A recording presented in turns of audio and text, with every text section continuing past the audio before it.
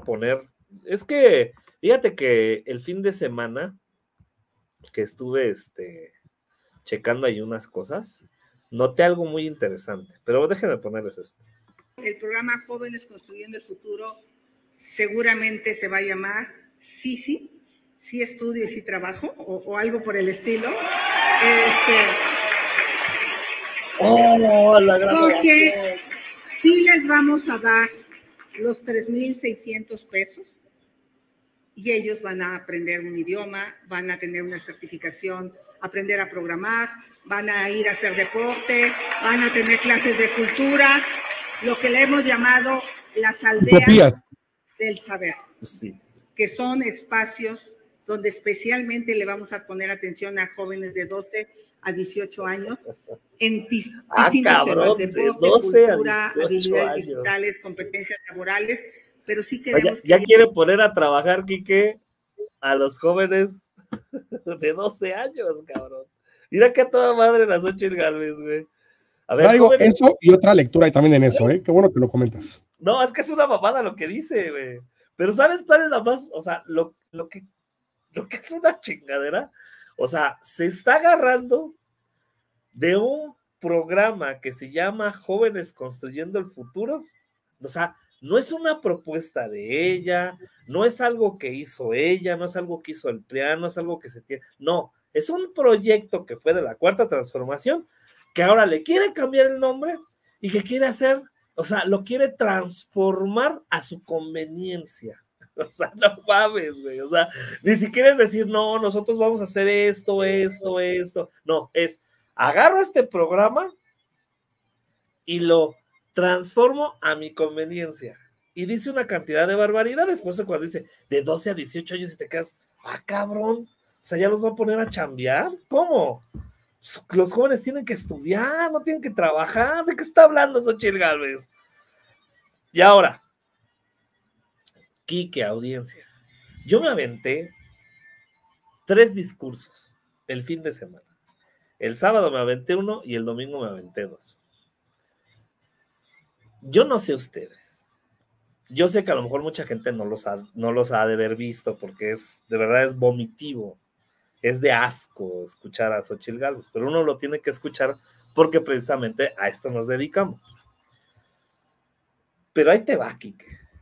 Chéquense todos los discursos de Xochitl Galvez y hagan de cuenta que es un refrito en una combinación de Calderón y de Peña Nieto. Es un refrito, güey. Parece que la oposición no ha entendido ni entenderá que 2018 para acá es una cosa y 2018 para atrás fue otra. Que el hartazgo del PRIAN de 2018 para atrás generó, creó que viniera el voto masivo, el tsunami, para que Morena con Andrés Manuel López Obrador ganara las elecciones e hiciera algo completamente diferente, de verdad, yo no sé quiénes son los asesores de Xochitl Galvez, pero al mismo tiempo tampoco me extraña que sigan teniendo esa mentalidad de hay que hacer lo que hacía Peña aquí y hay que hacer lo que hacía Calderón acá. Pero no se están dando cuenta que eso es lo que precisamente generó a que llegara Morena y Andrés Manuel López Obrador al poder. En pocas palabras, y para ya no alargarme y me dé esta opinión, mi estimado Quique, vamos a decirlo con todas sus letras. La oposición no tiene cerebro, no tiene cerebro, no tiene neuronas para hacer algo nuevo, algo innovador algo que vaya incluso más allá de la cuarta transformación. No, ellos están regresando a lo que hacían los del PRIAN, regresando a lo que hacía Enrique Peña Nieto y regresando a lo que hacía Felipe Calderón.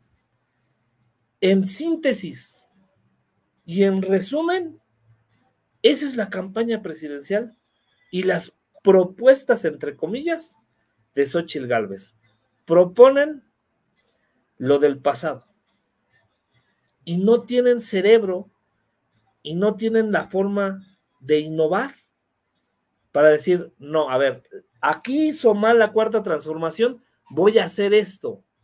No, es regresar al pasado 6, 12, 18 años atrás.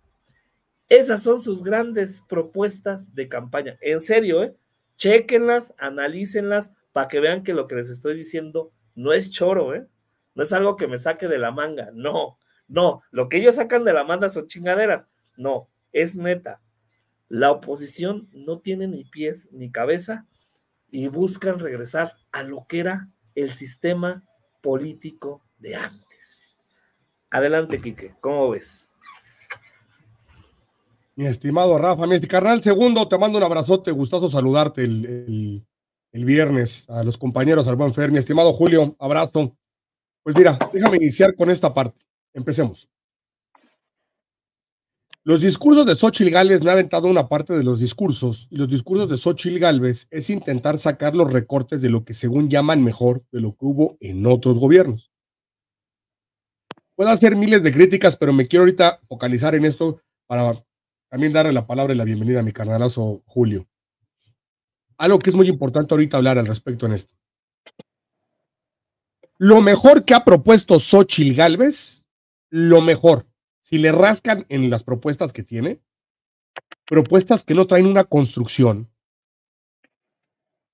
Porque cuando ella dice que tiene puntos y cómo construye y cuáles son sus bases, solamente ella se entiende. Y tal vez este, Max este, Cortázar, que seguramente le escribió parte de ello. Pero a ver, algo bien importante al respecto con esto. Uno, lo mejor de Xochitl Galvez en su proyecto es colgarse de los proyectos de la cuarta transformación. Lo mejor va a ser, ya no se va a llamar de esa manera, se va a llamar Sisi, porque ¿saben qué es lo peor de todo? ¿Saben por qué viene el Sisi? Del Nini.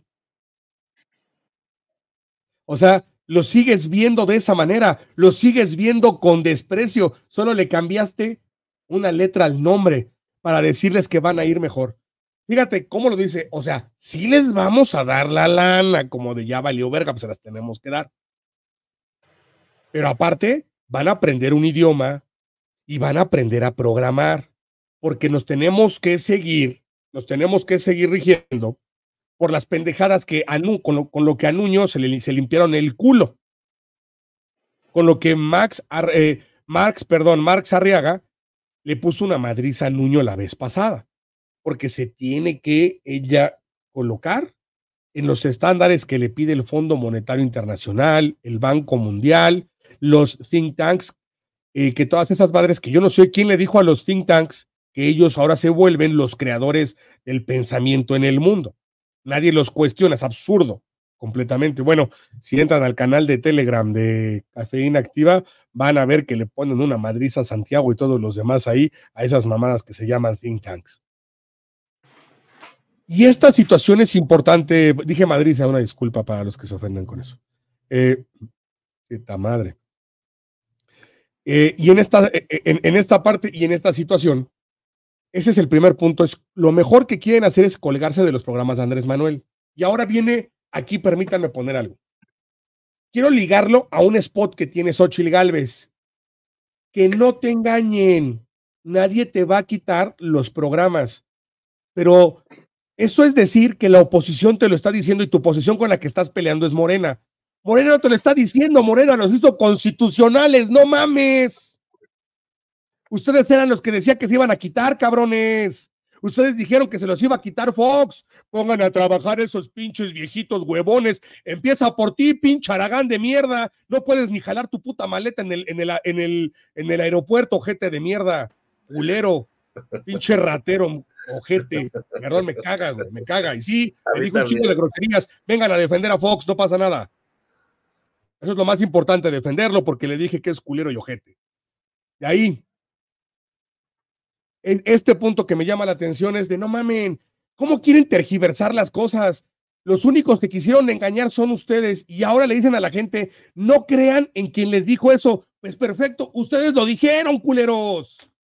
Ahora, ¿qué quieren venir a decir? Dejen de querer mezclar las cosas. ¿Y saben por qué es importante repetir esto? Porque me habían escrito algo en la, semana, el fin de semana, y me lo escribieron con mucho respeto y me dijeron, oiga, pero ¿por qué tocó este tema? Es que este tema pues, es estos güeyes y ya sabes, ¿por qué no le pegas a la hematopoiesis de la perífrasis verbal? Porque hay que desnudar estos detalles. El diablo está en los detalles. Xochil Galvez ahí te está diciendo que no le hagas caso a los que te dijeron que les iban a quitar. Nadie te va a quitar los programas sociales. Además, les dice, todos tranquilos, los programas, eh, este, los apoyos sociales y los programas, nadie los va a desaparecer. Pues claro, porque son constitucionales. No lo puedes hacer. Por eso lo selló Andrés Manuel de esa manera. ¿Qué vienes a decir eso? Para venir a decir eso, estás queriendo comentar que es Morena tu principal eh, este, enemigo u oponente en esta contienda electoral que los quiere quitar. ¿Cómo te van a querer quitar lo que ellos pusieron y solidificaron? No digan bobadas. Voy con eso. Ese es uno. Entonces, vaya un punto. Ahora imagínense, ¿cómo te quieres ganar a la gente? Ven a más la estupidez. No sé si esto lo pensó Max Cortázar, lo pensó Xochil Galvez, el chicle que traía Xochil Galvez o el moco que se estaba sacando su hija. No sabemos cuál de esos entes pensó en esto. ¿Por qué? Yo, Morena, yo dar programas sociales. Esos programas sociales los solidifiqué para que, por cierto, exacto, segundo, los programas que ellos votaron en contra, chinga, ¿vale? Principalmente el de adultos mayores, pero es cierto por los que votaron en contra. Ahora resulta que es la panacea de su programa por, en dos vertientes. La primera, los vamos a mejorar. Ah, ¿y por qué no cuando fueron, cuando tuvieron la bonanza petrolera, no los pusieron, güeyes? ¿Por qué no les preocupó la gente ahí? ¿Por qué no ahí apoyaron a las personas? ¿Por qué ahorita que Morena los puso y que los protegió constitucionalmente, ahora dicen, pues ya me chingué, vamos a mejorarlos. ¡Wow! No, no más son, son bien, no, no, no, pinche Max Cortázar. El moco de la hija de Xochitl piensa más cabrón que tú. Sigo con esta parte. Ahora resulta, vamos a jugar a Bob Esponja. Es que yo dije, y, y nos vamos a empezar a enredar, ¿vale? ¿Por qué? Yo, Morena, pongo el programa social, lo solidifico. Una vez que hago eso, entonces te digo, no te dejes engañar.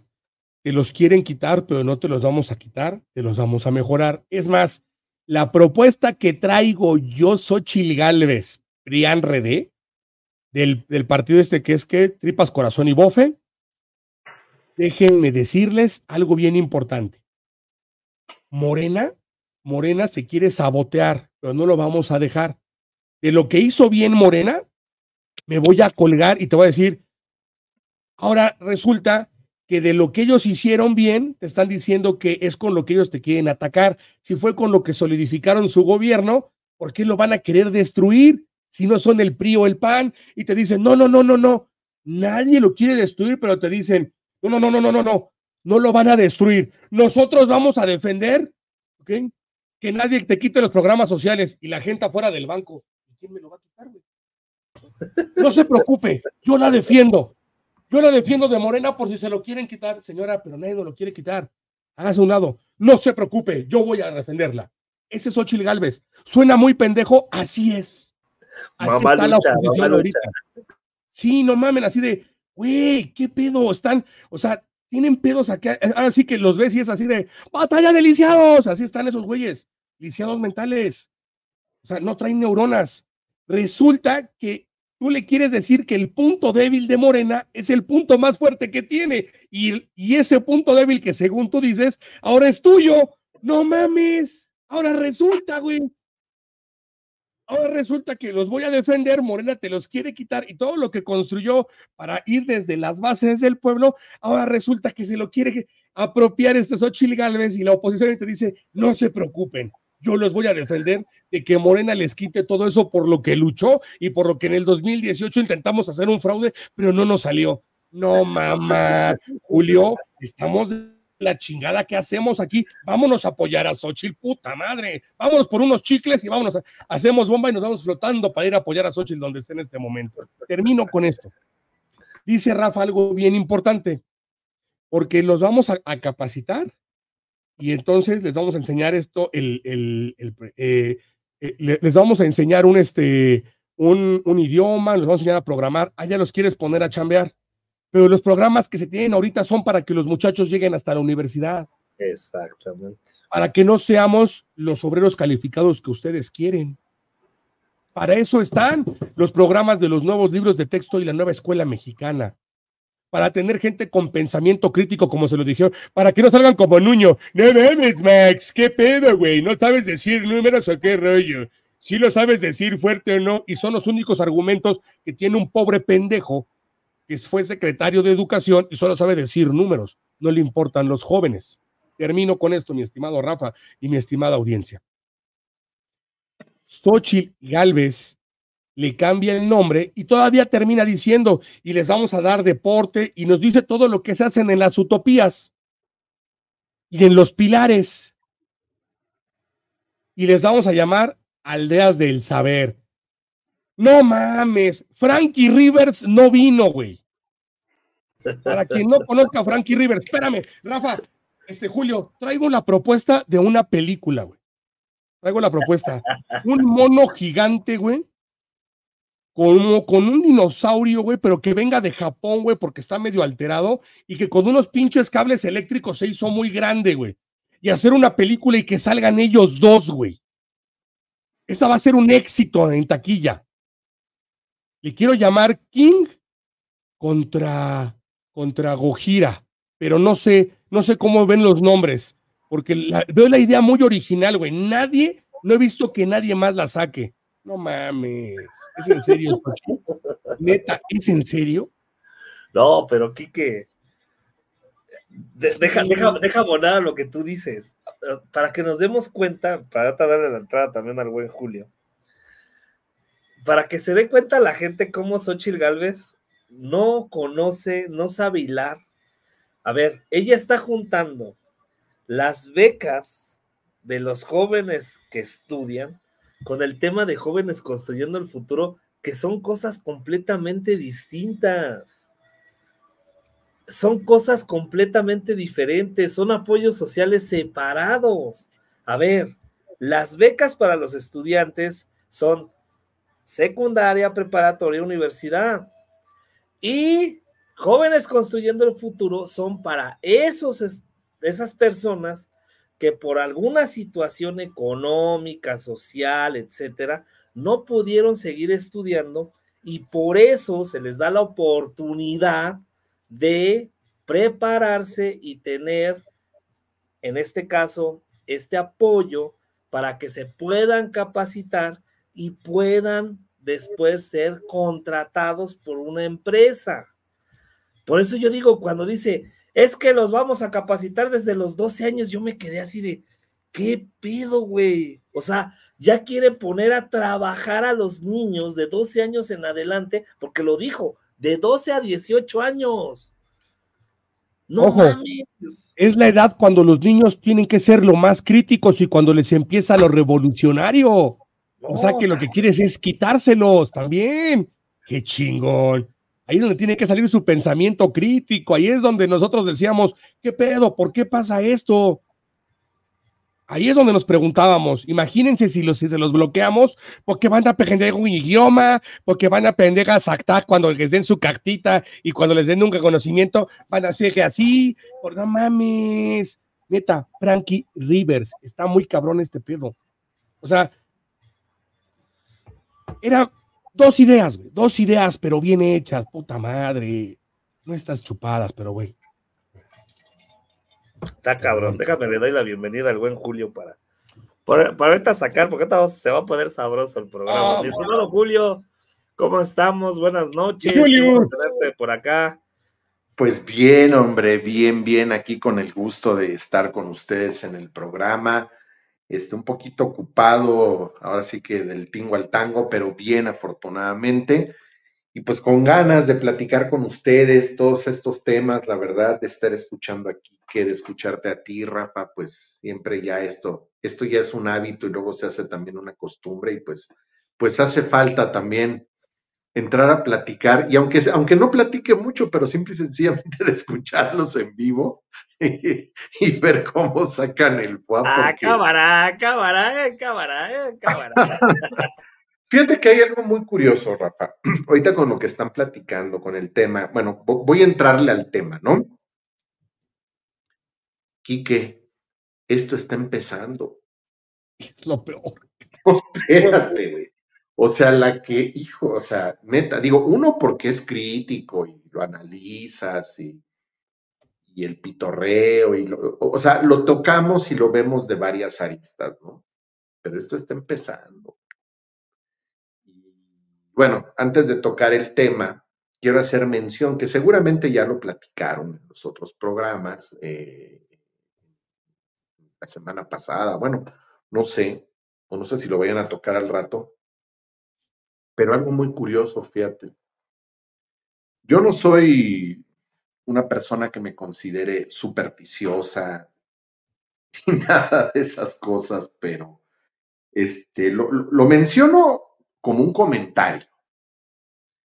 Pero cuando Xochitl Galvez, y, corríjanme la verdad, con una fecha, Rafa, aquí que eh, cuando Xochitl Galvez empieza con esta, no sé cómo llamarle, procesión, marcha, ritual, eh, acto solemne, o, no sé. Le diste mucho valor, ¿no? No sé, o sea, la verdad no sé. Buen punto. No le quiero faltar el respeto a la gente que es muy religiosa y en Semanas Santas, en procesiones y todo esto, porque creo que ya es parte también de la, de la cultura en muchos países y todo esto. Pero decide iniciar en uno, pues en la región cristera, vamos a ser honestos. Ella arrancó su campaña en la región de los cristeros, con una procesión con veladoras, ¿no? Y luego en redes sociales, yo lo vi en Twitter, convoca a que todo el mundo prenda una veladora a la luz de la esperanza. Y, bueno, ya se imaginan, todos los cristeros, todos los fachos, todos los conservas, eh, todos los ultraderechosos y los derechangos y todos estos, pues empezaron a subir fotografías de, de una veladora prendida con... sí, sí, sí con, estampitas religiosas, ¿no? Con la Virgen de Guadalupe, con un San pues cada quien con su santo favorito, ¿no? Y apoyando a Xochitl. Y cuando te metías a ver esos perfiles, pues es gente, pues gente mocha, pues, con ese tema, pero bueno, como se les dice coloquialmente o comúnmente.